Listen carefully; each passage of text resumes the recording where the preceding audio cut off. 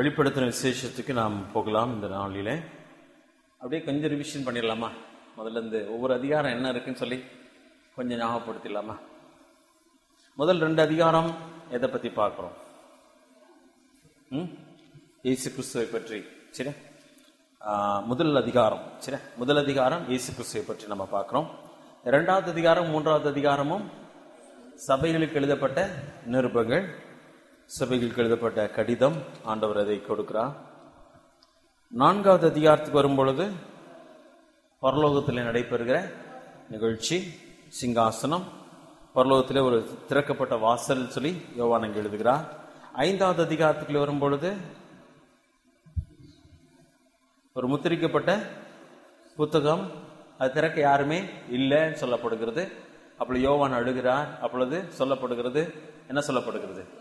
அழ வேண்டாம். யோதா கோத்திரத்து சிங்கம் ஒருவர் இருக்கிறார். அவர் திறக்க வல்லவர் சொல்லி அங்கே ஒரு ஆராதனையை நாம் அங்கே பார்க்கிறோம். சரியா ஆறாவது அதிகாரத்துக்கு வரும் பொழுது முதலாவது முத்திரை உடைக்கப்படுகிறது. அது அந்த நான்கு மூன்றாவது அதிகாரத்துக்கு நான்காவது அதிகாரத்துக்கு இடையில என்ன நடந்திருக்கலாம் நடக்க நடக்கும் என்று சொல்லி நம்ம பார்த்தோம்.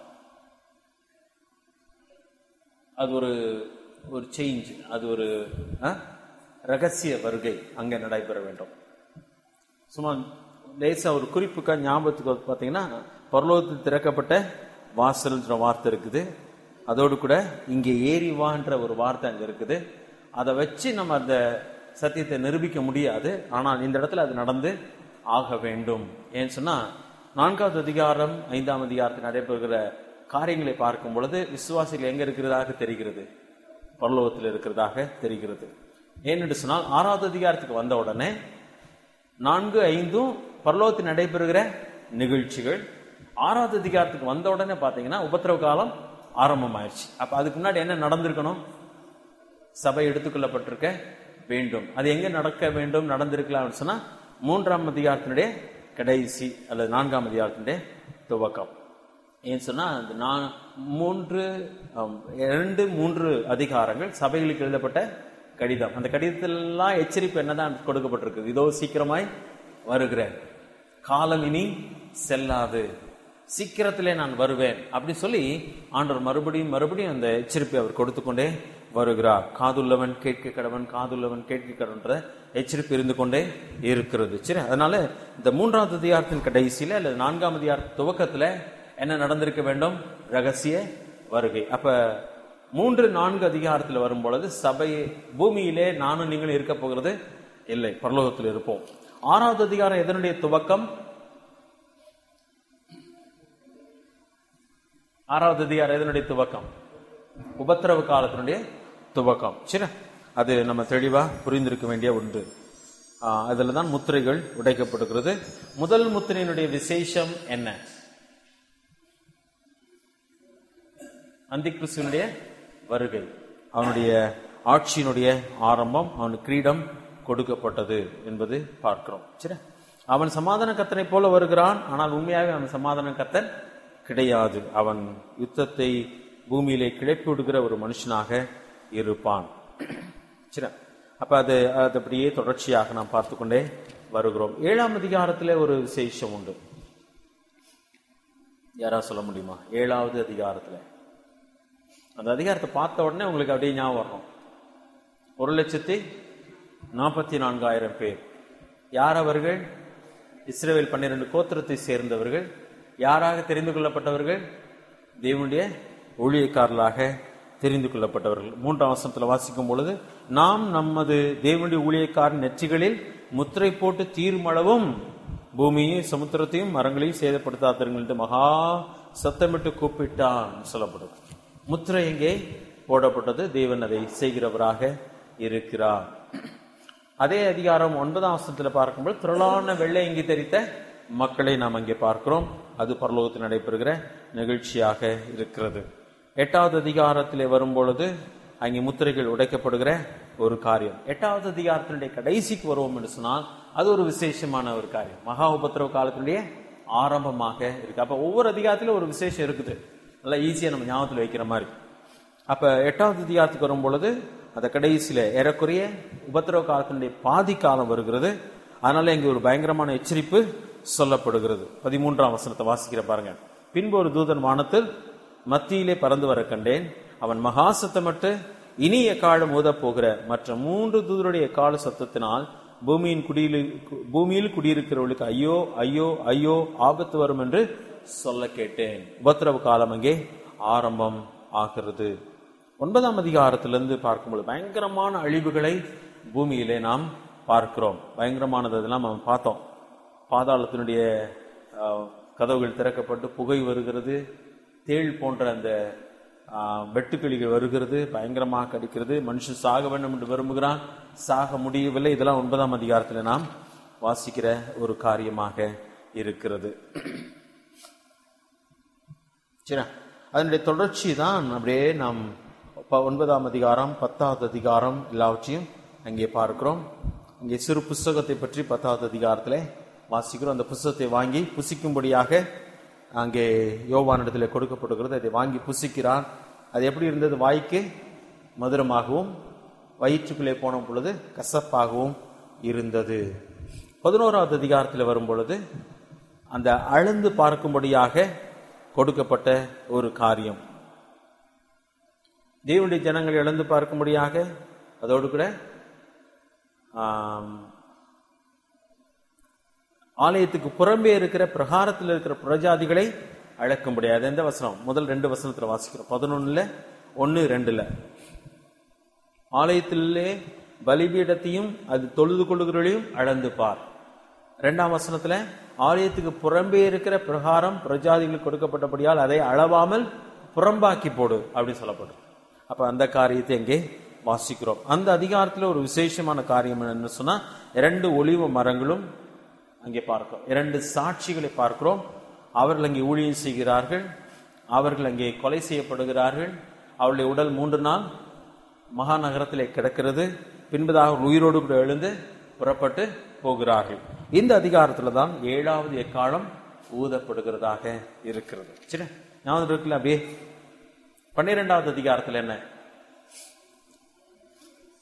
ஒரு பெரிய அடையாளம். ஒரு ஸ்திரீயை பற்றி வாசிக்கிறோம். அவள் மரியாள் அல்ல யாருன்னு சொல்லி பார்த்தோம். இஸ்ரவேல். இயேசு கிறிஸ்துவை பெற்றெடுத்தவள்.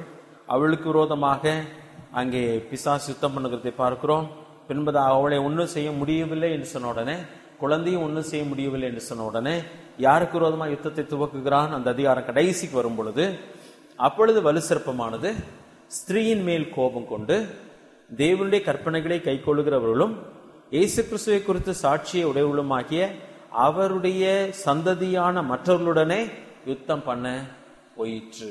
இதான் அவன் செய்கிற காரியமாக இருக்கிறது. சரியா? இன்றைக்கு நான் பதிமூன்றாவது அதிகாரத்தை பார்க்க போகிறோம். சற்று கடினமான பகுதியில் ஆனால் நாம் புரிந்து கொள்ளக்கூடிய தக்கதாக தேவன் அதை நமக்கு எழுதி கொடுத்திருக்கிறார். முதல் வசனத்தை நான் வாசிக்கிறேன். கவனிங்கள் பதிமூன்றாவது அதிகாரம். யோவான் அப்போ வெளிப்படுத்தின விசேஷம் பதிமூன்றாவது அதிகாரம். பின்பு நான் கடற்கரை மணலின் மேல் நின்றேன். அப்பொழுது சமுத்திரத்திலிருந்து ஒரு மிருகம் எழும்பி வர கண்டேன். அதற்கு ஏழு தலைகளும் பத்து கொம்புகளும் இருந்தன. அதன் கொம்புகளின் மேல் பத்து முடிகளும் அதன் தலைகளின் மேல் தூஷணமான நாமமும் இருந்தன. அப்படி சொல்லப்பட்டிருக்கு. யார் இதை எழுதுகிறது? யோவான் இல்லையா? நான் கடற்கரை மணலின் மேல் நின்றேன் சொல்கிறான். சமுத்திரத்திலிருந்து ஒரு மிருகம் எழும்பி வர கண்டேன்னு சொல்லுங்க. அப்படியே நீங்க அப்படியே இமேஜின் பண்ணணும். கற்பனை பண்ணி பார்த்தா தான் ஓரளவுக்கு அதை மனசுல வைக்க முடியும். சமுத்திரத்திலிருந்து ஒரு மிருகம் எழும்பி வர கண்டேன். அதற்கு எத்தனை தலைகளாம்? ஏழு தலைகள் இருந்தது. எத்தனை கொம்புகள்? பத்து கொம்புகள் இருந்தது. அந்த கொம்புகளின் மேலே பத்து முடிகளும் இருந்து முடினா என்னது? கிரீடங்கள் இருந்தது. அதன் தலையின் மேலே தூஷணமான நாமமும் இருந்தன அப்படின்னு சொல்லி சொல்லப்பட்டிருக்கிறது. அந்த படம்லாம் ஏற்கனவே அவங்களுக்கு காண்பித்திருக்கிறதுனால ஓரளவு கற்பனை பண்ண முடியும். இதை கடலின் மேலே என்று சொல்லும் பொழுது சமுத்திரத்திலிருந்து சொல்லப்பட்டிருக்கு கடற்கரை மணலிலே இவர் நின்று கொண்டிருக்கிறார். அது எதை காட்டுகிறது என்று சொன்னால் ஒரு அமைதலற்ற ஒரு சூழ்நிலை இருக்கிற நேரத்தில் தான் இந்த காரியம் நடைபெறுகிறது. சரியா? இதே காரியத்தை தானியல் ஏழாவது அதிகாரத்தில் வாசிக்கும் பொழுது தானியல் நீங்க அப்படியே கொஞ்சம் ஓரளவுக்கு பார்த்து கொண்டே நாம் வர வேண்டும். தானியல் ஏழாவது அதிகாரம் இரண்டாம் வசனத்தை வாசிக்கிறேன் பாருங்க. தானியல்லையும் உங்க கை வச்சுக்கோங்க. தானியல் சொன்னது ராத்திரி காலத்தில் எனக்கு உண்டான தரிசனத்திலே நான் கண்டது என்னவென்றால் இதோ வானத்தின் நாலு காற்றுகளும் பெரிய சமுத்திரத்தின் மேல் அடித்தது சொல்லப்பட்டிருக்கு. தேவன் ஒரு கா அதாவது இந்த வெளிப்படுத்தின விசேஷத்தை பார்த்தீங்கன்னா பிசாசு செயல்படுகிறான் என்று சொல்லுகிறதை விட யார் செயல்பட்டு இருக்கிறது தேவன் தான் செயல்பட்டு இருக்கிறார் தேவன் பூம் பிசாசு பூமியை பழி வாங்கி கொண்டிருக்கவில்லை. தேவன் பூ- பூமியை பழி வாங்குகிறார். அப்ப ஆண்டர் எதை எதையுமே செய்யும்போது சில நேரத்தில் எதை கொண்டு செய்கிறார்? காற்றை கொண்டுலாம் செய்கிறார். காற்றை கொண்டு செய்கிறார். அவர் காற்றை நிப்பாட்டக்கூடாதுன்னு சொல்லி ஒரு இடத்துல வாசிக்கிறோம் இல்லையா? நிப்பாட்டாதீங்க காற்ற அப்படி சொல்றாரு. அப்ப ஆண்டவர் வந்து அதை செயல்படுத்துகிறவராக இருக்கிறார். இங்கேயும் பார்க்கும் பொழுது அங்கே காற்றுன்னு சொல்லி வாசிக்கிறோம். தானியில் பார்க்கும் பொழுது நான்கு காற்றுகளும் அடித்தது. இங்கே பார்க்கும் பொழுது தா- யோவான் அங்கே கடற்கரையிலே நின்று கொண்டிருக்கிறார். அப்பொழுது இந்த தரிசனத்தை அவர் காண்கிறார். சரியா? சமுத்திரத்திலிருந்து ஒரு மிருகம் எழும்பி வர கண்டேன் சொன்னால் சொன்னா இந்த குழப்ப சமுத்திரத்தை சொல்லும் பொழுது நிறைய பேர் சொல்றது அமைதலற்ற ஒரு நிலைமை. தத்தளித்து கொண்டிருக்கிற ஒரு சூழ்நிலை. பூமியுடைய சூழ்நிலை அதுதான் இப்பொழுது. அப்படிப்பட்ட சூழ்நிலையிலே ஒரு மிருகம் எழும்பி வர கண்டேன் சொல்கிறார். ஏன் மிருகம் என்று சொல்லி வேதாந்தத்தில் பயன்படுத்தப்பட்டிருக்குன்னு சொன்னா அது இந்த மிருகம் எல்லாமே ஆட்சிகளை தான் குறிக்கிறது. மிருகம் சொல்லும் பொழுது அதாவது நெபுகாத் நேசாரை பார்த்தீங்கன்னா அவன் தேவனுக்கு விரோதமாக பெருமை உள்ளவனாக பெருமை பேசுகிறவனாய் மாறும்போது அவனை என்னவா ஆண்டு தள்ளினான்? மிருகமா தள்ளிட்டான். மிருகத்தோடு கூட அவன் ஏழு வருஷம் வாழும்படி அவனை தள்ளுகிறான். இந்த உலகத்தினுடைய ஆட்சிகள் முழுவதுமே பார்க்கும் பொழுது யாருக்கு விரோதமாக தான் இருக்குது? தேவனுக்கு விரோதமாக இருக்கிறது. அப்ப இந்த கடைசி ஆட்சியும் பார்க்கும் பொழுது மிருக மிருகம் என்று தான் அது சொல்லப்பட்டிருக்கிறது. உண்மையாகவே இதை பார்க்கும் பொழுது அந்தி கிறிஸ்துவனுடைய ஆட்சியை தான் அங்கே பார்க்கிறோம். அந்தி கிறிஸ்துவனுடைய ஆட்சின்னு சொல்ல முழு இந்த பதிமூன்றாம் அதிகாரத்தில் வரும் பொழுது அவன் கடைசி மூன்றரை ஆண்டிலே செயல்படுகிற அந்த சூழ்நிலை முழு ஆ- ஆளுகையும் அவன் கையில் வருகிறது. இரண்டாம் வசனம் கடைசியில் பார்த்தீங்கன்னா அது உங்களுக்கு விளங்கும். வலு சர்ப்பமானது தன் பலத்தையும் தன் சிங்காசனத்தையும் மிகுந்த அதிகாரத்தையும் அதற்கு கொடுத்தது. இவன் யார் என்று சொன்னால் ஒரு மனிதன் தான் இவன். ஆனால் ஆளுகை உலகத்தின் ஆளுகையை பிடிக்கிறான். எந்த சூழ்நிலையில பிடிக்கிறான்? பயங்கர குழப்பமான ஒரு சூழ்நிலையிலே அந்த ஆளுகையை பிடிக்கிறான். அவனுடைய ஆட்சியை பற்றி வேதம் சொல்லும் பொழுது மிருகத்தினுடைய ஆட்சி. அது மிருக குணம்.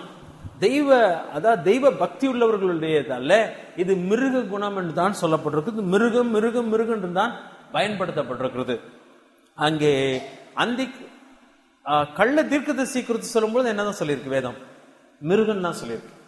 இன்னொரு காரியம் பார்த்தீங்கன்னா உண்மையான தெய்வம் அப்புறம் மனுஷன் வேற எதை தான் வச்சு வணங்குறான். மிருகத்தை தான் வணங்குறான். மிருகத்தை தான் வணங்குறான்.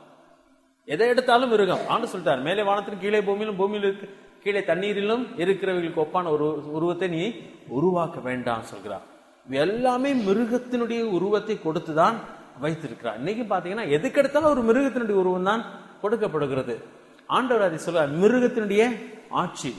அப்ப அதுதான் அதனுடைய அர்த்தமாக இருக்கிறது. மிச்சபடி இந்த டிராகன் என்று தான் வார்த்தை ஆங்கிலத்தில் பயன்படுத்தப்பட்டிருக்கிறது. டிராகன் சொன்னோன்னே பிசாசு கிடையாது. இது வந்து மிருகம் தான் மிருகம். ஆனால் உண்மையாக பார்க்கும்போது அது மனுஷனுடைய ஆட்சியை தான் அது குறிக்கிறதா இருக்குது. சமுத்திரத்திலிருந்து எழும்பி வர கண்டேன் சொல்கிறார் அதற்கு எத்தனை தலைகள் இருந்ததாம்? ஏழு தலைகள் இருந்தது. பத்து கொம்புகள் இருந்தன. அதன் கொம்புகளின் மேல் பத்து முடிகளும் அதன் தலைகளின் மேல் தூஷணமான நாமமும் இருந்தது என்று சொல்லப்பட்டிருக்கு. அப்ப அதுக்கு ஏ- ஏழு தலைகள் இருந்தது. இங்க பன்னெண்டாவது அதிகாரத்தில் நீங்க கவனிச்சு பாத்தீங்கன்னா மூன்றாவது வசனத்துல வேறொரு அடையாள வானத்தில் காணப்பட்டது. ஏழு தலைகளையும் பத்து கொம்புகளையும் தன் தலையின் மேல் ஏழு முடிகளையும் உடைய சிவப்பான பெரிய வலுசர்ப்பம் இருந்தது. வலுசர்ப்பம் யாரு? நேரடியாக பிசாஸ் அதுல எந்த விதமான சந்தேகம் இல்லை. ஏறக்குறைய இதே படத்தை தான் எங்க பார்க்குறோம்? இங்கே பார்க்கிறோம். அங்கே பார்க்கும் பொழுது அது பிசாசனுடைய முழு ஆதிக்கத்தையும் உடையதா இருக்கிறது. இன்னொரு காரியம் பார்த்தீங்கன்னா இந்த உலகத்தினுடைய ராஜ்யங்கள் இப்பொழுது யார் கையில் இருக்குது? பிசாஸ் கையில தான் அதனால தான் போன அதிகாரம் பதினோராவது அதிகாரத்தில் ஏழாவது எக்காலம் ஊதப்பட்ட உடனே சொல்லப்பட்ட ஒரு காரியம் என்ன? பரலோகத்திலே எழும்பின சத்தம் என்னன்னு சொல்லி பார்த்தீங்கன்னா பதினோராவது அதிகாரம் பதினைந்தாவது வசனம். ஏழாம் தூதன் எக்காலம் ஊதினான்? அப்பொழுது உலகத்தின் ராஜ்யங்கள் நம்முடைய கத்தருக்கும் அவருடைய கிறிஸ்துவுக்கும் உரிய ராஜ்யங்கள் ஆயின அன்னு சொல்ல சொல்லப்படும். இந்த தலைகள் கிரீடங்கள் எல்லாமே ராஜ்யங்களை குறிக்கிறது. பொன் தலை யாரை குறித்தது? பாபிலோன் ராஜ்யம்.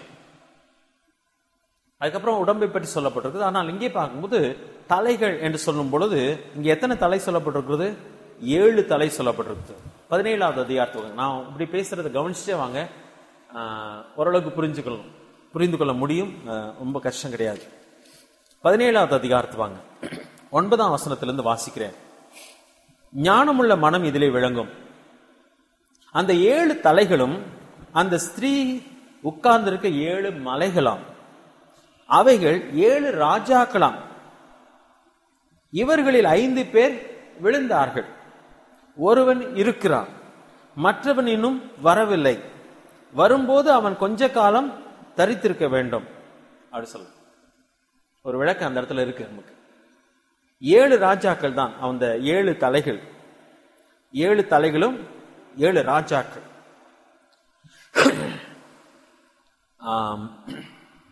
இது இந்த இடத்துல என்ன சொல்லியிருக்குன்னா அந்த ஸ்திரீயை பற்றி சொல்லியிருக்கு நம்ம அதை இன்னும் ரெண்டு வாரம் கழிச்சு படிப்போம். ஸ்திரீயானா விக்கிரக ஆராதனைக்கு தலையா இருக்கிற பாபிலோன் சொல்லப்படுறது. அந்த ஸ்திரீ யார் மேல உட்காந்துருக்கிறா இந்த மிருகத்து மேல உட்காந்துருக்கிறா அந்த மிருகத்தை பத்தி தான் இங்க சொல்லியிருக்கு. அந்த மிருகத்துக்கு எத்தனை தலையாம்? ஏழு தலையாம் அந்த தலை என்னவாம்? ஏழு மலைன்னு சொல்லியிருக்கு. பின்பதாக அது ஏழு ராஜாக்கள் சொல்லப்பட்டிருக்கிறது. அவர்கள் ஐந்து பேர் விழுந்தார்கள். ஏற்கனவே முடிஞ்சிச்சு அவங்களுடைய காலம். ஒருவன் இருக்கிறான். இப்பொழுது நடந்துட்டு இருக்கு இது எழுதப்பட்ட காலத்துல.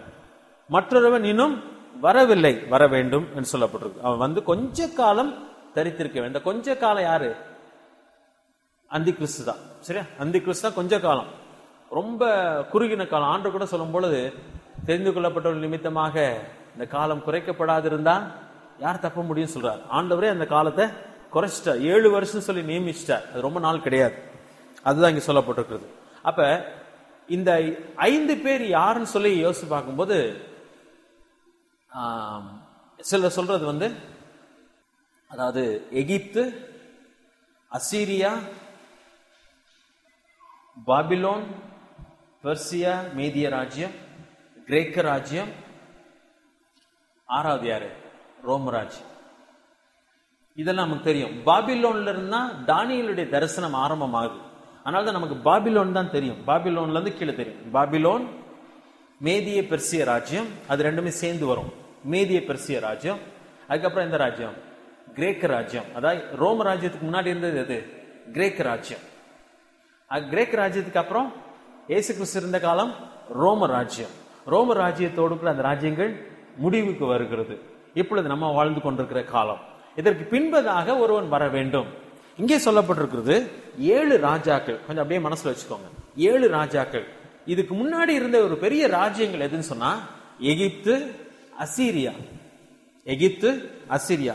ஏன் பாபிலோன் தான் நமக்கு தானியல் இருக்குன்னு சொன்னா அந்த தானியல் வாழ்ந்த காலம் இது. பாபிலோன் வந்து ரொம்ப ஒரு பெரிய ராஜ்யமா இருந்துச்சு. ரொம்ப பாப்புலரா இருந்துச்சு. அப்ப அவனுடைய காலத்திலிருந்து அது சொல்லப்பட்டிருக்குது ஆனா இங்க ஏழு ராஜ்யங்கள். ஏன் இதை சொல்லியிருக்குன்னு சொன்னா இந்த ஏழு ராஜ்யங்களையுமே பார்க்கும்பொழுது பூமி முழுசையும் அது வந்து ஆளுகை செய்யக்கூடியதா இருந்துச்சு. ஏழுமே மிருகங்களாக தான் இருந்தது. பாபிலோனை பார்த்தீங்கன்னா விக்கிரக ஆராதனைக்கு மிக மையமான ஒரு இடமாக இருந்தது. இன்னைக்கு விக்கிரக ஆராதனை சொன்னா படமா இதுதான் சொல்லப்படும். பாபிலோன் தான் சொல்லப்படும். அவ்வளவு பயங்கரமான ஒரு இடமாக இருந்தது. எகிப்து எகிப்தை பற்றி நமக்கு தெரியும். பின்பதாக அசிரியாவை பார்க்கிறோம். அசிரியாவுக்கு பின்பதாக பாபிலோனை பார்க்கிறோம். தானியில் இருந்த காலங்கள் எது? Babylon Media Persia. இந்த ரெண்டு காலகட்டத்திலும் தானியில் இருக்கிறான். அதுக்கப்புறம் கிரேக்க ராஜ்யம் வருகிறது. கிரேக்க ராஜ்யத்துக்கு பின்பதாக ரோம ராஜ்யம் வருகிறது. அப்ப எத்தனை ராஜ்யம் பாருங்க. எகிப்து அசீரியா பாபிலோன் மேதிய பெர்சிய ராஜ்யம் கிரேக்க ராஜ்யம். ஐந்து ராஜ்யங்கள் விழுந்தது. இந்த புஸ்தகம் எழுதப்படுகிற வேளையில இந்த யோ யோவான் சொல்லப்படும் பொழுது ஐந்து ராஜ் ராஜாக்கள் ஐந்து பேர் விழுந்தார்கள். முடிஞ்சிருச்சு. ஒருவன் இருக்கிறான் சொல்லப்பட்டிருக்கிறது. அது எந்த காலம்? ரோம ராஜ்யம். ஒருவன் இருக்கிறான் மற்றவன் இன்னும் வரவில்லை என்று சொல்லப்பட்டிருக்குது. அவன் வந்து எவ்வளவு நாள் இருக்கணுமா? கொஞ்ச காலம் இருக்க வேண்டும் என்று சொல்லப்பட்டிருக்கு சரியா? ரொம்ப வேதம் பார்த்தீங்கன்னா பயங்கரமானது. ஃபுல் உலக உலக சரித்திரமே எதுக்குள்ள இருக்கு? இதற்குள்ளே இருக்கிறது. ஜனங்கள் அதை அறிந்து கொள்ள முடியாத நிலைமையில இருக்கிறார்கள். இப்ப தேவன் அங்கே செயல்புகிறார் இந்த எல்லாமே இதுதான் நாங்கள் ஏழு தலைகள்னு சொல்லப்படுறது. ஏழு தலைகளும் யார் மேல இருக்கு? பன்னெண்டாவது அதிகாரத்தில் வாசிக்கும் பொழுது யார் மேல இருக்குது? வலு சர்ப்பத்தின் மேல இருக்கிறது. பதிமூணாவது அதிகாரத்தில் பார்க்கும்போது யார் மேல இருக்குது? அந்தி கிறிஸ்துவ மேல இருக்கிறது. காரணம் முழு ராஜ்யத்தையும் யார் கையில கொடுத்துட்டாவே ஒருவேளை இது வந்து முழு உலகத்தினுடைய கடைசி ஒரு கட்டமாக இருக்கிறது. சரியா? அதான் நான் ரெண்டாம் வசனம் கடைசியை வாசித்தேன். பதிமூன்றாவது அதிகாரம் ரெண்டாம் வசனத்தை கடைசியில பாத்தீங்கன்னா வலு சிற்பமானது தன் பலத்தையும் தன் சிங்காசனத்தையும் மிகுந்த அதிகாரத்தையும் அதற்கு கொடுத்தது. பிசாசுக்கு இன்னும் கொஞ்ச காலம் தான் இருக்குன்னு சொல்லி நல்லா தெரியும். அதனால முழு வல்லமையும் யார் கையில கொடுத்துட்டான்? தன்னுடைய பிரதிநிதியா அந்திகிறிஸ்துவ வச்சு யார் ஆளுகை செய்கிறது? பிசாசே நேரடியாக ஆளுகை செய்கிறவனாக காணப்படுகிறான். சரியா? இன்னொரு காரியம் இரண்டாம் வசனத்துல வாசிக்கிற பாருங்க. நான் கண்ட மிருகம் சிறுத்தையை போல் இருந்தது. அதன் கால்கள் கரடியின் கால்களைப் போலவும் அதன் வாய் சிங்கத்தின் வாயைப் போலவும் இருந்தது. வலு சிற்பமான தன் பலத்தையும் தன் சிங்காசனத்தையும் மிகுந்த அதிகாரத்தையும் அதற்கு கொடுத்தது. இதே காரியத்தை தானியல் ஏழாவது அதிகாரத்துக்கு வாங்க. தானியல் ஏழாவது அதிகாரம். தானியல் கண்ட தரிசனத்துல அந்த மிருகம் எழும்பி வந்தது. எழும்பி வந்த பொழுது நான்காம் வசனத்துல பாருங்க. மூணாம் வசனத்துல எழு மிருகங்கள் பெரிய மிருகங்கள் சமுத்திரத்திலிருந்து எழும்பின. பண்மையில சொல்லப்படுறது சரியா? மிருகங்கள் எழும்பின. முந்தின மிருகம் சிங்கத்தை போல் இருந்தது. ஐந்தாம் வசன துவக்கத்துல பின்பு கரடி கோப்பான வேறொரு இரண்டாம் மிருகத்தை கண்டேன். ஆறாம் வசனத்துல அதன் பின்பு சிவிங்கியை போலிருந்த வேறொரு மிருகத்தை கண்டேன். ஏழாம் வசனத்துல அதற்கு பின்பு ராத்திரி தரிசனங்களில் நாலாம் மிருகத்தை கண்டேன். அது கொடியும் கெடியும் பயங்கரவுமான மகா பலத்ததுமாய் இருந்தது சொல்லி நான்கு மிருகங்களை பற்றி சொல்கிறார் இந்த நான்கு மிருகங்களும் பார்க்கும் பொழுது நான்கு ராஜ்யங்கள் ஆக அது சொல்லப்பட்டிருக்கிறது. நான்கு ராஜ்யங்களாக அது இருக்கிறது. ஒன்றன் பின்றா ஒன்றாக அது இருக்கும். பதினேழாம் வசனத்தை பாருங்க. பதினேழாம் வசனம். அந்த நாலு மிருகங்களும் அதாவது தானியல் ஏழு பதினேழு. அந்த நாலு பெரிய மிருகங்களும் பூமியிலிருந்து எழும்புகிற நாலு ராஜாக்கள். அப்படி சொல்லப்படும். நீங்க அதை தேவைன்னா பின்னாடி வாசிக்கோங்க. அது நான்கு ராஜாக்கள். ஆனா இங்க வாங்க வெளிப்படுத்தின விசேஷத்தை வரும் பொழுது ஒரே மிருகம் தான் சொல்லப்பட்டிருக்கிறது. அதனுடைய உருவம் மட்டும் எப்படி சொல்லப்பட்டிருக்குது? இந்த நான்கு உருவமும் எங்க சொல்லப்பட்டிருக்கிறது? அந்த ஒரு மிருகத்தினிடத்திலே சொல்லப்பட்டிருக்குது. அதான் ரெண்டாம் வசனத்துல வாசிக்கிறோம். வெளிப்படுத்தல் பதிமூணு ரெண்டு. நான் கண்ட மிருகம் சிறுத்தையை போல் இருந்தது. அது அங்கே சிவிங்கி சொல்லப்பட்டிருக்கு ரெண்டு ஒன்று தான் அதன் கால்கள் கரடியின் கால்களைப் போலவும் அதன் வாய் சிங்கத்தின் வாயைப் போலவும் இருந்தது. வலுவான சர்ப்பமான தன் பலத்தையும் தன் சிங்காசனத்தையும் மிகுந்த அதிகாரத்தையும் அதற்கு கொடுத்தது. பயங்கரமான ஒரு அங்கே காரியம் அங்கே நடைபெறும். இந்த அது வரைக்கும் இந்த இடத்துல பார்த்தீங்கன்னா யுத்தம் செய்யும் அதிகாரம் அதற்கு கொடுக்கப்பட்டு சொல்லி ஐந்தாம் வசனத்தில் கடைசியில் வாசிக்கிறோம். அதுக்கு அதிகாரம் கொடுக்கப்பட்டது. யுத்தம் செய்யக்கூடிய அதிகாரம். இது வரைக்கும் பூமியில நடைபெறாத பயங்கரமான காரியங்கள் எப்ப நடைபெற போகிறது? அந்த காலகட்டத்தில் நடைபெறும். ஏன்னு சொன்னா நான்கு ராஜாக்கள் தனித்தனியே இருந்தது இந்த பூமியை அரசாண்டார்கள். இப்படி அந்த நான்கு ராஜாக்கள் செய்தது போல இவன் ஒருத்தன் செய்ய போகிறது. இவன் ஒருவன் செய்ய போகிறான். பயங்கரமான காலமாக அது இருக்கும். அது யாருடைய காலகட்டம் சொன்னா நந்தி கிறிஸ்துவனுடைய காலகட்டமாக இருக்கிறது. ஒன்று பிசாசுக்கு அது கடைசி காலம் என்பது அவனுக்கு தெரியும்.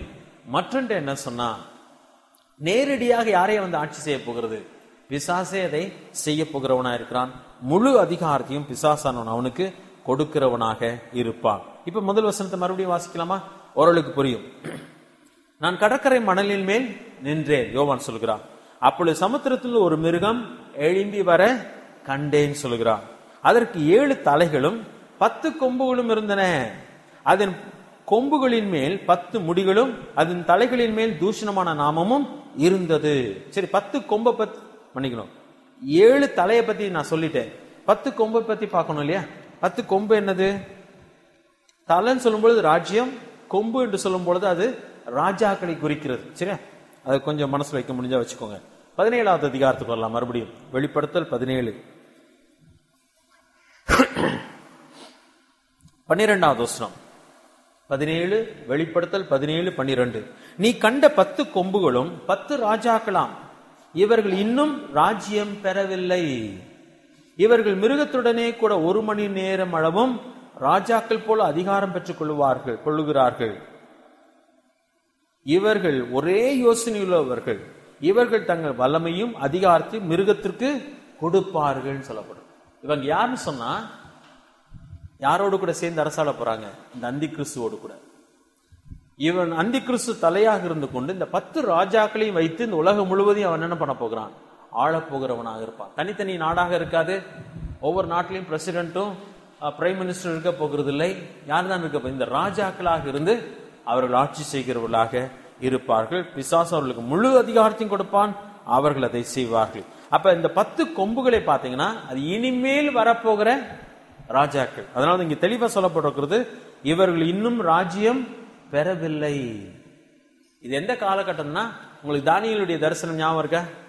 தலை அது பொன் பின்பதாக வெண்கலம் மார்பு அது வந்து மேதிய பெர்சிய ராஜ்யம் பின்பதாக வயிற்று பகுதியை பார்த்தீங்கன்னா வெள்ளியாக இருக்கிறது. மன்னிக்கணும். வெள்ளி வெள்ளி வெண்கலம். தலை பொன்னாக இருக்கிறது மார்பு பகுதி வெள்ளியாக இருக்கிறது அது மேதிய பெர்சிய ராஜ்யம் வயிற்று பகுதி இடுப்பு பகுதி வெண்கலமாக இருக்கிறது அது கிரேக் ராஜ்யம் கால் பகுதி இரும்பாக இருக்கிறது. அது அதாவது தொடைப்பகுதி இரும்பாக இருக்கிறது அது ரோம் ராஜ்யம். அதற்கு கீழே பார்ப்போம் என்று சொன்னால் களிமண்ணும் இரும்பும் சேர்ந்த கலவையாக இருக்கிறது. அது எந்த காலம்? அதுதான் பத்து ராஜாக்கள் சேர்ந்து ஆழப்போகிற காரியம். ஒரு நாட்டிலேயே நம்ம ஒன்றும் செய்ய முடியலையே முழு உலகத்தையும் இந்த பத்து பேரை வைத்து ஆட்சி செய்வான். இரும்பும் களிமண்ணும் சேர்ந்து போக முடியாதபடிக்கு அவங்க அப்படிதான் இருப்பாங்க. ஆனா அவங்க என்ன செய்வாங்க? ஆட்சியை நடத்துவார்கள். அது சேர்ந்தும் போக முடியாது ஆனா சேர்ந்து போய் தான் ஆகும். சேர்ந்து போகும். அப்படிப்பட்ட ஒரு சூழ்நிலை தான் உலகம் முழுவதும் இருக்கும். அது ஆண்டவர் அதை செய்கிறவா இருப்பார். அந்த நேரத்துல தான் இந்த பத்து ராஜாக்கள் என்ன பண்ணுவாங்க? ராஜ்யம் பெறுவார்கள். இவர் இது அந்தி கீழாக நடைபெற போகிற ஒரு ராஜ்யமாக இருக்கிறது. சரி நல்லா ஓரளவுக்கு புரிஞ்சிருச்சுல? அப்ப முதல் வசனத்துல பாத்தீங்கன்னா மிருகத்தை பார்க்கிறோம். அது சமுத்திரத்திலிருந்து எழும்பி வந்தது. காரணம் இந்த குழப்பமான அலைமோது சூழ்நிலையிலே எழும்பினவனாக அவன் இருக்கிறான். அவனுக்கு மிருகம் என்று தான் பெயர் கொடுக்கப்பட்டிருக்கிறது. காரணம் அவன் தேவனுக்கு மகிமை செலுத்தாத ஒருவனாக இருக்கிறான். அவனுக்கு ஏழு தலைகள் சொல்லப்பட்டிருக்கிறது. ஏழு ராஜ்யங்கள் அங்கே இருந்தது. பத்து கொம்புகள் இருந்தது. கொம்புகளுக்கு பத்து முடிகளும் இருந்தது. அது பத்து ராஜாக்கள். இனிமேல் எழும்ப போகிற பத்து ராஜாக்களாக இருக்கிறார்கள். அதன் தலையின் மேல் தூஷணமான நாமமும் இருந்தது. இது என்ன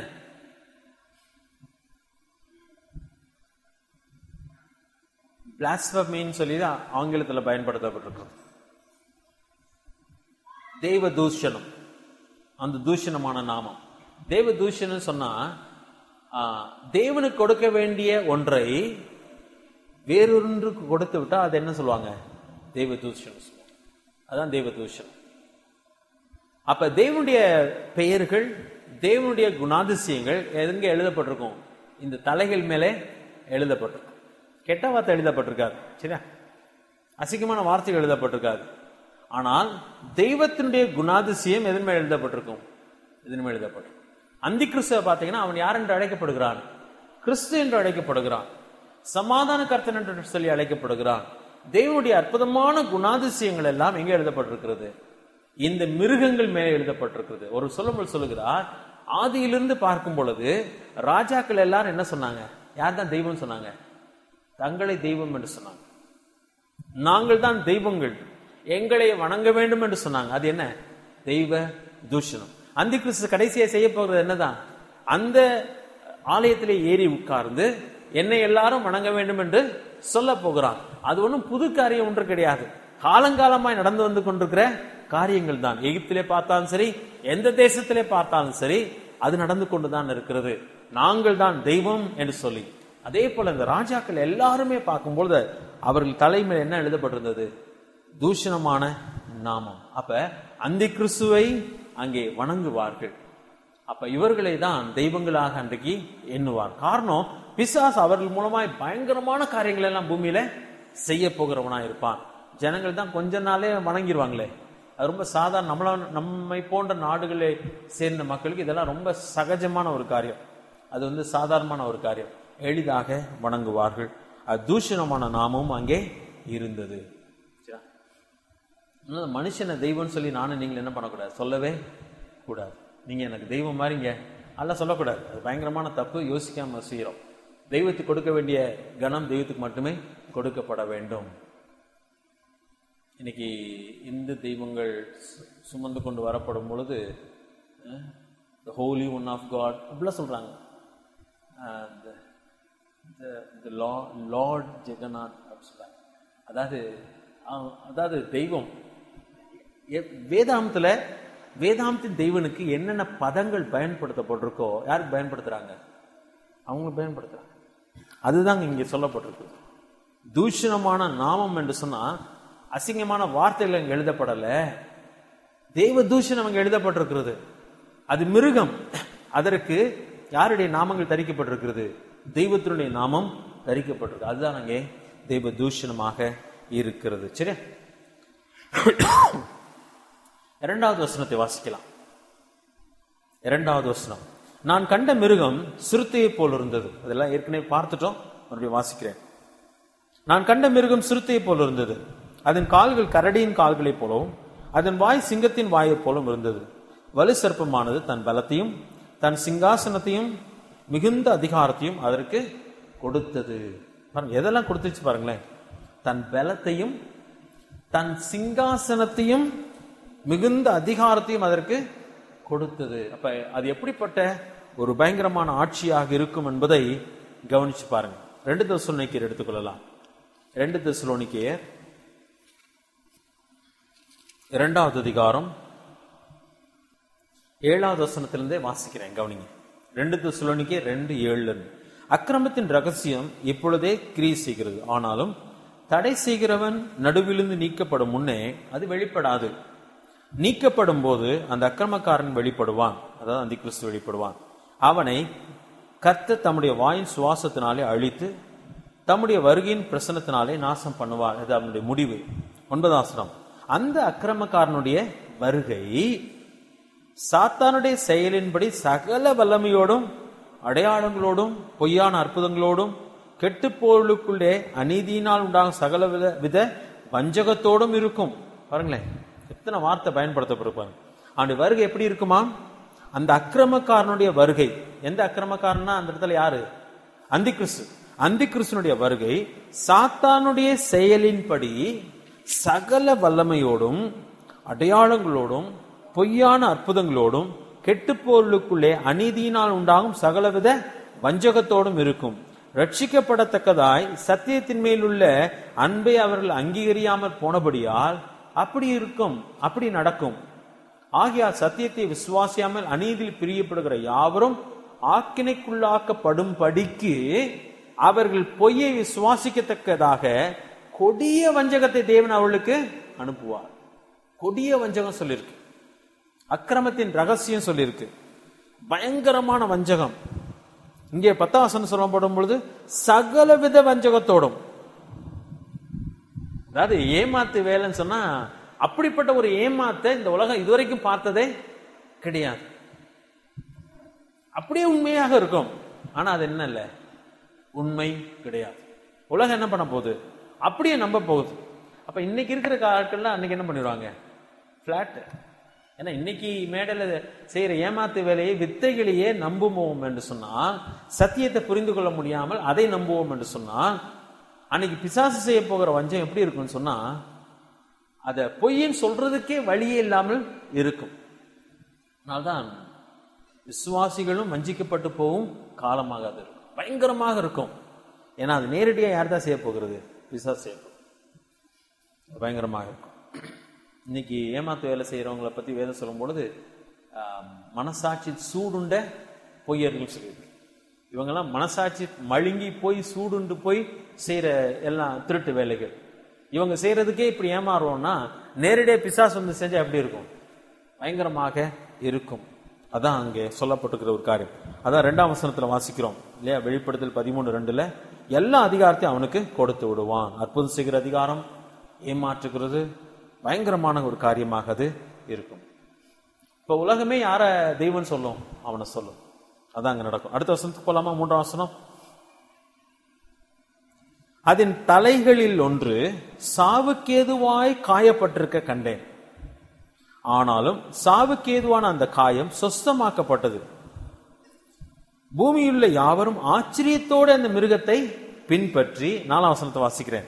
அந்த மிருகத்துக்கு அப்படிப்பட்ட அதிகாரத்தை கொடுத்த வலு சிறப்பத்தை வணங்கினார்கள். அல்லாமலும் மிருகத்துக்கு ஒப்பானவன் யார்? அதனோட யுத்தம் பண்ணத்தக்கவன் யார் என்று சொல்லி மிருகத்தையும் வணங்கினார்கள். இங்க ஒரு பெரிய அற்புதத்தை கொண்டு வருகிறார். சாவுக்கேதுவான காயம் சொல்லியிருக்கு. அது தமிழ்ல வந்து ரொம்ப எஃபெக்டிவா இல்லை. இது சாவுக்கேதுவான சொல்ல போனா அது செத்து போச்சுன்னு சொல்றாங்க. எது? ஒரு தலை. எந்த தலை? அந்தி கிறிஸ்து சாகுறான் சொல்றாங்க. நிறைய பேர் நம்புறது தான் அந்தி கிறிஸ்து அந்த இடத்துல ஏன்னா அவன் தானே இருக்கிறான். அந்த தலை மட்டும் தான் அந்த இடத்துல இருக்குது. வேற எந்த தலையும் இல்லை. எல்லாமே கடந்துருச்சு. இப்ப அந்த ஒரு தலை மட்டும் தான் இருக்குது. அந்த இடத்துல பாத்தீங்கன்னா சாவுக்கேதுவான காயம் இருந்துச்சு. ஆனா அந்த சாவுக்கேதுவான அந்த காயம் சொஸ்தமாக்கப்பட்டது. அப்படி சொல்லப்பட்டிருக்கு இன்னும் பின்னாடி வந்தீங்கன்னா அது வந்து உயிரோடு கூட வந்தது என்று சொல்லுக்கு சரி அதன் பின்னாடி பார்க்கலாம். சொஸ்தமாக்கப்படும் சும்மா அப்படி காயம் ஆறி சுகமானது கிடையாது. இது எதனுடைய டூப்ளிகேட் மாதிரி காமிக்க விரும்புறான் சொன்னா இயேசு கிறிஸ்து மறித்து உயிரோடு கூட எழுந்தது போல யார் தன்னை காட்ட விரும்புகிறான்னு சொன்னால் அந்தி கிறிஸ்துவை பிசாசு பயன்படுத்துகிறார். ஏன்னா இவன் வந்து யார் தான்? ஆன்டி கிரைஸ்ட் அந்தி கிறிஸ்து. கிறிஸ்துவுக்கு ஒரு டூப்ளிகேட்டாக கொண்டு வந்து நான் தான் கிறிஸ்து சொல்லி சொல்ல பார்க்கிறான். அதுதான் அவனுடைய முக்கியமான முயற்சி. இயேசு கிறிஸ்து அநேக அற்புதங்களை செய்தார். இங்கே ஏராளமான அற்புதங்கள் நடைபெறுகிறது. இயேசு கிறிஸ்து மறித்து உயிர்த்தெழுந்தார் யாரும் மறித்து உயிர்த்தெழுகிறது இவனும் மறித்து உயிர்த்தெழுகிறவனாக இருக்கிறான் சொல்லப்படுது. ஆனால் இதுவும் எப்படிப்பட்டதா இருக்குன்னு நினைக்கிறீங்க? பயங்கரமான ஏமாற்று வேலையாக இருக்கும். ஒண்ணு என்னன்னா சாகிறவனுக்கு ஜீவனை கொடுக்க யாருக்கு அதிகாரம் கிடையாது. பிசாசுக்கு அதிகாரமே கிடையாது. கீழே நீங்க வந்தீங்கன்னு சொன்னா அங்கே கள்ள தீர்க்கதரிசி ஒரு காரியத்தை அவன் செய்வான். பதினான்காம் வசனத்தை வாசிக்கிறேன் பாருங்க. பதினான்காம் வசனம். மிருகத்துக்கு மிருகத்தின் முன்பாக அந்த அற்புதங்களை செய்யும்படி தனக்கு கொடுக்கப்பட்ட சத்துவத்தினாலே பூமியின் குடிகளை மோசம் போக்கி பட்டயத்தினாலே காயப்பட்டு பிழைத்த மிருகத்துக்கு ஒரு சொரூபம் பண்ண வேண்டும் என்று பூமியின் குடிகளுக்கு சொல்லிற்று. கட்- பட்டயத்தினாலே காயப்பட்டு சுகமடைந்த அவனுக்கு ஒரு உருவம் செய்யணும். சொரூபம் செய்யணும். அது எவ்வளவு பெருசா இருக்கும்னு நினைக்கிறீங்க? ரோபாட்டா இருக்கலாம். அது மட்டும் இல்ல அடுத்த வசனத்தை வாசிக்கிறேன் பாருங்க. மேலும் அம்மிருகத்தின் சொரூபம் பேசத்தக்கதாகவும் மிருகத்தின் சொரூபத்தை வணங்காத யாவரையும் கொலை செய்யத்தக்கதாகவும் மிருகத்தின் சொரூபத்துக்கு ஆவியை கொடுக்க முடியாதற்கு சத்துவம் கொடுக்கப்பட்டது. இது மட்டும் யாரால் செய்ய முடியாதுன்னு நினைக்கிறீங்க? பிசாசால உயிர் கொடுக்க முடியாது. அவன் உயிர் எடுக்கலாம். அது கூட தேவனுடைய உத்தரவு இல்லாமல் செய்ய முடியாது. ஏன்னா உயிர் மேல் அவனுக்கு என்ன கிடையாது? அதிகாரம் கிடையாது. ஆனா இவன் ஒரு மிருகத்தை ஒரு உருவத்தை செஞ்சு உருவத்துக்கு என்ன கொடுக்க போகிறான்? பேசத்தக்கதான பலனை கொடுக்க போகிறான். அதோடு கூட அதற்கு ஆவியையும் கொடுக்க போகிறான். இன்னைக்கு ரோபாட்ஸ் இருக்கா இல்லையா? எப்- எப்படி எடுத்துக்கொள்ளும்னு சொல்லி தெரியல. சிலர் என்ன சொல்றாங்கன்னா அவன் ஆக்சுவலா சாகுறான் அவனுக்கு பதிலாக எந்த டூப்ளிகேட் கொண்டு வராங்க? இது கொண்டு வராங்க சொல்றாங்க. அதை என்னால் முழுமையாக ஏற்றுக்கொள்ள முடியல. நீங்கள் சும்மா மனசில் வச்சுக்கிறதுக்காக நான் சொல்கிறேன். ஒருவேளை அவனை அவன் சுகப்படுத்தி இருக்கலாம். ஆனால் அவனுக்கு ஏற்ற இன்னொரு சொரூபத்தை அவங்க செய்கிறாங்க இன்னைக்கு பேசக்கூடிய ரோபாட்லாம் இருக்கா இல்லையா? இருக்குது. எல்லாமே செய்ய முடியும். இன்னைக்கு பயப்படுற ஒரு காரியம் என்ன சொன்னால் அப்படிப்பட்ட ஒரு ரொபாட்டை செஞ்சிட்டாங்கன்னு சொன்னால் மனுஷனுக்கே அதை என்ன பண்ண முடியாமல் போயிடலாம் கண்ட்ரோல் பண்ண முடியாமல் போயிடலாம் அந்த மிருகமானது முழு உலகத்தையும் கண்ட்ரோல் பண்ணக்கூடிய லெவல்ல ப்ரோக்ராம் பண்ணிட்டான்னு சொன்னால் அதுதான் இவனை கண்ட்ரோல் பண்ணுமே ஒழிய இவனால் அவன் அதை ஒன்றும் பண்ண முடியாது. கண்ட்ரோல் பண்ண முடியாது. ஏன் சொன்னால் அந்த நாட்களில் எல்லாரும் எதை தரிச்சிருப்பாங்க? முத்திரையை தரிச்சிருப்பாங்க. அப்போ ஒவ்வொரு மனுஷனையும் யார் கண்ட்ரோல் பண்ணுவான்னு சொன்னால் அந்தி கிறிஸ்து கண்ட்ரோல் பண்ணுவான். அவன் எங்கே போகிறான் என்ன வரான் என்ன பண்ணுறான் எல்லாமே அவனால் பண்ண முடியும். அதாவது எல்லாமே செய்ய முடியும். அந்த அதிகாரத்தை யாரு கொடுக்க போகிறாங்க ஒருவேளை இந்த மிருகத்தினுடைய சொரூபத்துக்கு கொடுத்தார்கள் என்று சொன்னால் அது எல்லா காரியத்தையும் செய்கிறதாக மாறும். அது அழிவினுடைய முடிவாக இருக்கும். சரியா? அது பயங்கரமான ஒரு காரியமாக இருக்கும். இதையும் அவர்கள் அந்த நாட்களிலே செய்வார்கள். சரி மூன்றாம் வசனத்துக்கே வரலாம். மூன்றாம் வசனத்துல அந்த காயம் சுகமாகி சொஸ்தமாக்கப்பட்டது. அது என்னவாக சொல்லப்படும் என்று சொன்னான் அவன் மறித்து உயிரோடு கூட எழுந்தான் என்று சொல்லி. அதனாலதான் நான்காம் வசனத்துல வாசிக்கும் பொழுது அந்த மிருகத்துக்கு அப்படிப்பட்ட அதிகாரத்தை கொடுத்த வலு சிற்பத்தை வணங்கினார் எப்படிப்பட்ட அதிகாரம்? சும்மா காயம் சுகமான அதிகாரம் கிடையாது. இது வந்து சா- செத்தவனை உயிரோடு கூட எழுப்பின அதிகாரம் என்று சொல்லப்பட்டிருக்கிறது. வேதாந்தி அறிந்த எனக்கு உங்களுக்கு மட்டும்தான் தெரியும். செத்தவனுக்கு உயிர் கொடுக்க எவனால முடியாது என்பது. அப்ப இது ஒரு பயங்கரமான ஏமாற்று வேலையாக இருக்கும். இதனால ஜனங்கள் என்ன பண்ணாங்களா? நாலாம் வசனம் கடைசியில பாருங்க. அதனால அந்த அதிகாரத்தை கொடுத்த வலு சர்ப்பத்தை வணங்கி வலு சர்ப்பம் யாரு? பிசாசு. பிசாசை அவர்கள் வணங்கினார்கள். அல்லாமலும் மிருகத்துக்கு ஒப்பானவன் யார்? அதனோட யுத்தம் பண்ணத்தக்கவன் யார் என்று சொல்லி மிருகத்தையும் வணங்கினார்கள். பிசாசையும் வணங்கினார்கள் மிருகத்தையும் வணங்கினார்கள். பயங்கரமான ஒரு காரியமா இருக்கும். இது ஒரு வஞ்சகத்தினுடைய ஒரு பகுதி மட்டும் நமக்கு இந்த இடத்துல சொல்லப்பட்டிருக்கிறது. இயேசு கிறிஸ்து மறித்து உயிர் தெழுந்தார் என்பது சத்தியமான ஒரு காரியம். ஆனால் அதே போன்ற ஒரு காரியத்தை அவன் அந்த நாளிலே நடப்பித்து காட்டுகிறவனாக இருப்பான். சரியா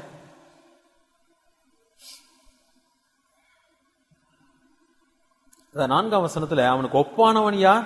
அதனோட யுத்தம் பண்ணத்தக்கவன் யாருன்னு சொன்னால் அவ்வளவு அதிகாரம் யார் கையில கொடுத்துருவான்? பிசாசு. அவனுடைய கையிலே கொடுப்பான். அவனை எதிர்க்க யாருமே முடியாது. முழு உலகம் அவனை வணங்குகிறதாக மாறும். ஐந்தாவது வசனம். பெருமையானவைகளையும் தூஷணங்களையும் பேசும் வாய் அதற்கு கொடுக்கப்பட்டது. இதெல்லாம் நடந்துச்சுன்னா அவன் என்ன பேசுவான்? பெருமையாய் பேசுவான். தூஷனுடைய வாய் அவனுக்கு கொடுக்கப்பட்டது. பயங்கரமாக அவன் தூஷணமாக பேசுவான். யாரை பேசுவானா? சரி ஐந்தாம் வசனத்தை வாசுறேன் வாய் அவனுக்கு கொடுக்கப்பட்டது. அல்லாமலும் நாற்பத்தி ரெண்டு மாதம் யுத்தம் பண்ண அதற்கு அதிகாரம் கொடுக்கப்பட்டது. நாற்பத்தி ரெண்டு வாரம். எரிமிய முப்பதாவது அதிகாரம் பாருங்க. எரேமியா முப்பதாவது அதிகாரம்.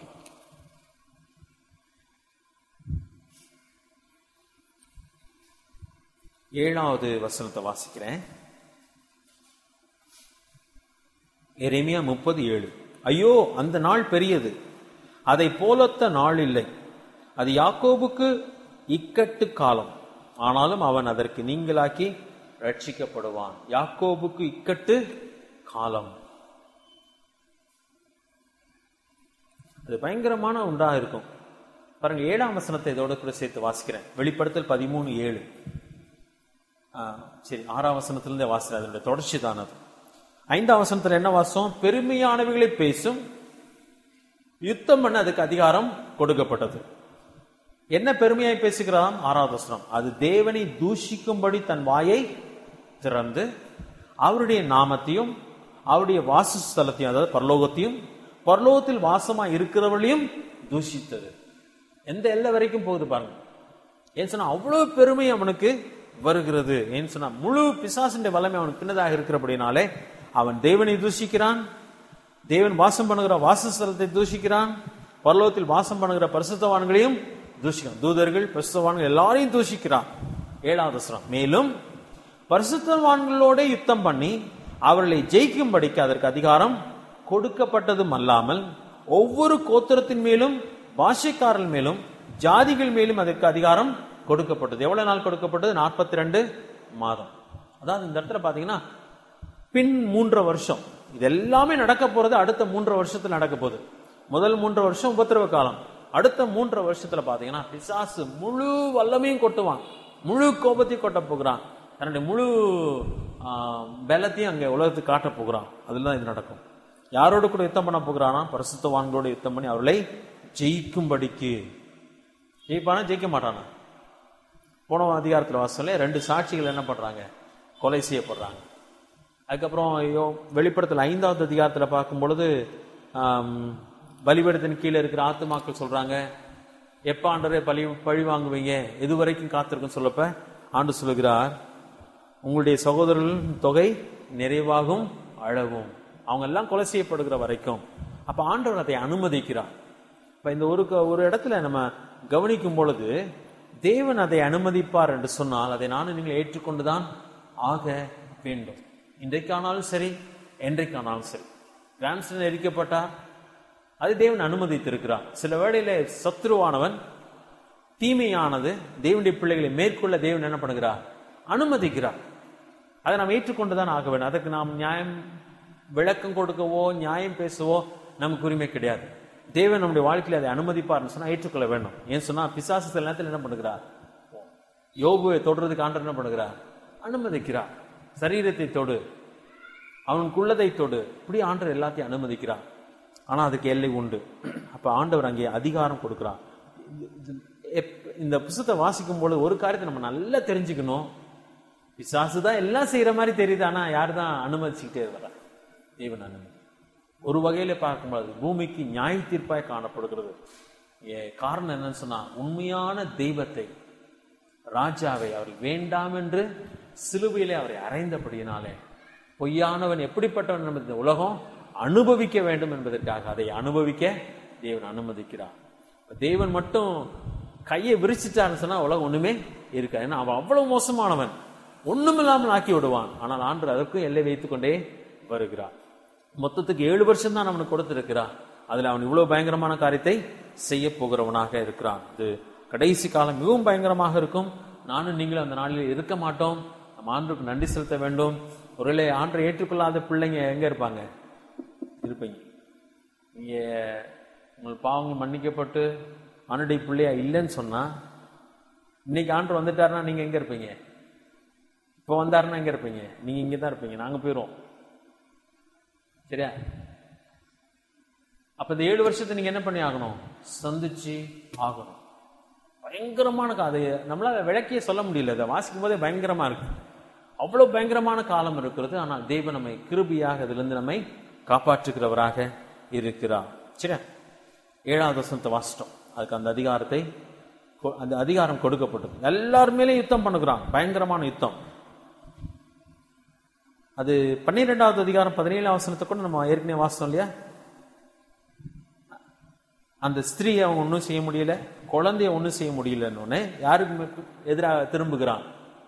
இயேசு கிறிஸ்துவை குறித்து சாட்சியுடைய இருக்கிற மற்ற சந்ததியார் மேலே திரும்புகிறான். மற்ற இருபத்தி நான்காவது அதிகாரம் பாருங்க. அங்கே இயேசு கிறிஸ்து அதை குறிப்பிடுகிறான் மற்ற இருபத்தி நான்காவது அதிகாரம் இருபத்தி ஓராவது வசனத்தை மட்டும் வாசிக்கிறேன்.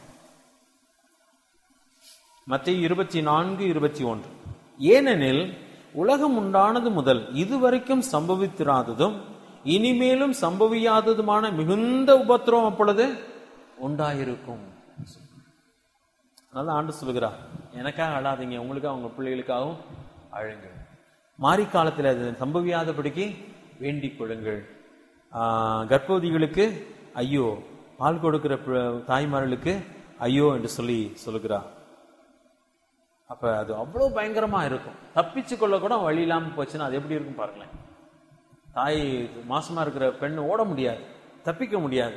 அப்போ அதில் அது சிக்கிக்கொள்ளும். அதனால தான் அது சொல்லுகிறா. குழந்தையை தூக்கி கொண்டு ஓட முடியாது சிக்கிக்கொள்ளும். அதனால தான் சொல்லுகிறா.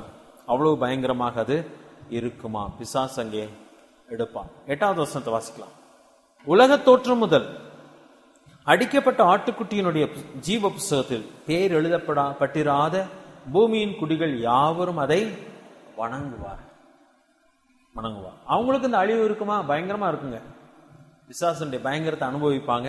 தேவனுடைய கோபத்தை அனுபவிப்பாங்க. இந்த பயங்கரமான இதில் பாதுகாப்பு யாருக்கு சொன்னால் தேவனுடைய பிள்ளைகளுக்கு தான் அன்று பாதுகாப்பு. இஸ்ரேல் மக்களுக்கு தேவன் பாதுகாப்பு கொடுக்குறா அவருடைய பிள்ளைகளுக்கு பாதுகாப்பு கொடுக்குறா அதுலேயும் சிலரை ஆண்டு என்ன பண்ணுகிறார்? மறிக்க அனுமதிப்பா அது நடக்கும். ஆனால் அதே வழியில் உலகத்தின் மக்கள் பார்த்தீங்கன்னா முழு பயங்கரத்தை அவங்க என்ன பண்ணுவாங்க? அனுபவித்துக் கொண்டு இருப்பார்கள். ஆனால் அவங்க என்ன பண்ணுவாங்களா? இந்த மிருகத்தை அவர்கள் வணங்குவார்கள். காதுள்ளவன் எவனோ? அவன் கேட்க கடவன். சிறைப்படுத்தி கொண்டு போக போகிறவன் சிறைப்பட்டு போவான். பட்டயத்தினாலே கொள்ளுகிறவன் பட்டயத்தினாலே கொல்லப்பட வேண்டும். பரிசுத்தவான்களுடைய பொறுமையும் விசுவாசம் இதிலே விளங்கும் நான் இதோடு கூட முடிக்கிறேன். அடுத்த கள்ள தீர்க்கசியை பற்றி நாம் அடுத்த வாரத்தில் தான் பார்க்க போகிறோம். இது மிருகம். அதாவது அந்திகிறிஸ்துவை பற்றி வாசிக்கிறோம் அவனுடைய அதிகாரத்தை பற்றி வாசிக்கிறோம் அவன் செய்கிற காரியங்களை பற்றி வாசிக்கிறோம். ஒன்பதாம் ஆசனத்தில் சொல்லப்பட்டது எங்க சொல்லப்பட்ட காரியம்? முதல் அதிகாரத்தில். காதுள்ளவன் கேட்க கடவன் நல்லா கவனிச்சுக்கோங்க இதெல்லாம் இருக்குன்னு சொல்கிற ஆண்டவர். சபையானவர் சபைக்கு ஆவியானவர் சொல்லுகிறதை காதுள்ளவன் கேட்க கடவன் தேவன் நமக்கு என்ன சொல்லுகிறான் என்பதை நாம் புரிந்து கொள்ள வேண்டும். பத்தாம் ஆசனம் சொல்லும் பொழுது சிறைப்படுத்தி கொண்டு போகிறவன் சிறைப்பட்டு போவான். பட்டயத்தினாலே கொல்லுக கொல்லுகிறவன் பட்டயத்தினாலே கொல்லப்பட வேண்டும். பரிசுத்தவானுடைய பொறுமையும் விசுவாசம் இதில் விளங்கும். என்னன்னு சொன்னால் பட்டயத்தினாலே கொல்லுகிறவன் கொல்லப்படுவான் அந்த அர்த்தம் கிடையாது. யார் பட்டயத்தினாலே கொல்லப்பட வேண்டும் சொல்லி தேவன் வைத்திருக்கிறாரோ அவன் பட்டயத்தினாலே கொல்லப்படுவான். யார் சிறைச்சாலைக்குள்ளே போடப்பட வேண்டும் சொல்லி தேவன் வைத்திருக்கிறாரோ அவன் சிறைச்சாலைக்குள்ளே போடப்படுவான். யார் யாருக்கு என்ன நடக்க வேண்டுமோ தேவன் அதை வைத்திருக்கிறார். அது அப்படிதான் நடக்கும். அதிலே பரிசுத்தவான்களுடைய பொறுமையும் விசுவாசமும் விளங்கும்.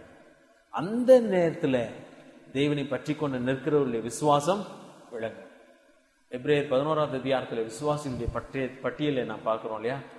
அதில் என்ன விளங்கிட்டு அந்த விசுவாசிகளுடைய விசுவாசம் விளங்கிட்டு அதே போல இந்த இப்படிப்பட்ட சூழ்நிலையிலும் தேவனுடைய பிள்ளைகள் யாருக்கு அனுப்பாங்கன்னு நினைக்கிறீங்க? தேவனுக்கு அனுப்பாங்க. அது பயங்கரமான சாட்சியாக இருக்கும். எல்லாம் பயந்து ஒளிந்து ஓடுகிறவர்களாக இல்லாமல் தேவனுக்காய் செயல்படுகிற ஒரு பெருங்கூட்டம் என்றைக்கு இருக்கும்? அன்றைக்கும் இருக்கும். ஒரு லட்சத்தி நாற்பத்தி நாலாயிரம் பேர் மட்டுமல்ல இன்னும் ஆண்டுக்காய் சாட்சியாக நிற்க போகிற மக்கள் இருக்கும். பசியினாலே பட்டினியினாலே கிடந்தாலும் கூட அவள் ஆண்டுக்காக நிற்பார்கள். முத்திரையை தரிக்க மாட்டார்கள். பிசா அங்கே எல்லாரும் வணங்குகிறபடினாலே இதை அவர்கள் வணங்க மாட்டார்கள். செத்தாலும் யாருக்காக நிற்பார்கள்? அன்றுக்காக நிற்கிறவர்களாக இருப்பார். இதான் யார வெறியேற்றுன்னு சொன்னா அந்தி கிறிஸ்துவ பயங்கரமா வெறியேற்றும் இப்படி அவனுடைய முழு அதிகாரம் அவன் கையில கொடுக்கப்பட்டும் முழு உலகத்தை அவனால என்ன பண்ண முடியாது? தன்னுடைய கைக்குள்ளே கொண்டு வர முடியாது. ஆண்டுக்காய் நிற்கிற கூட்டம் எப்பொழுதுமே நிற்கும். அதான் அங்கே அழகாக சொல்லப்பட்டிருக்கிறது. அங்கே விசுவாசனுடைய பொறுமையும் விசுவாசமும் விளங்கும் என்று சொல்லப்பட்டிருக்கிறது. அந்த நேரத்தில் அவர்கள் சாட்சியாக இங்கே வாழுவார்கள். ஒருவேளை இன்றைக்கு தேவன் நம்முடைய வாழ்க்கையில நமக்கென்று எதை வைத்திருக்கிறார் அது என்ன பண்ணும்? நடக்கும்.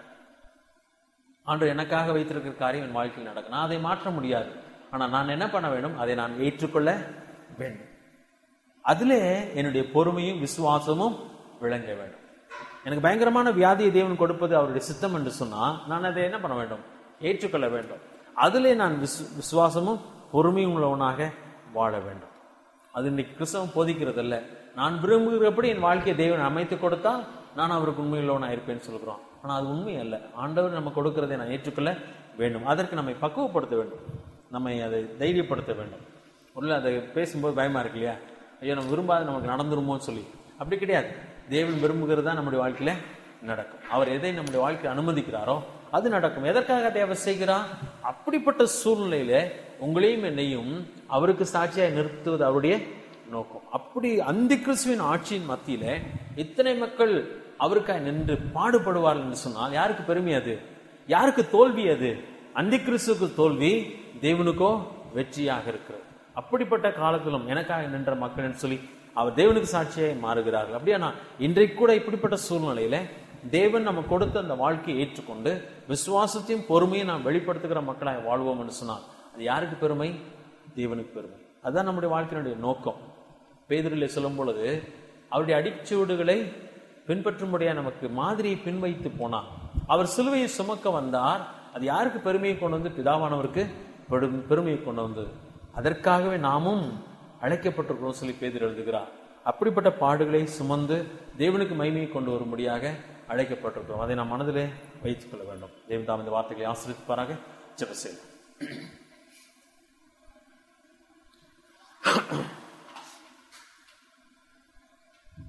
அற்புதமான வேத புஸ்தகம்.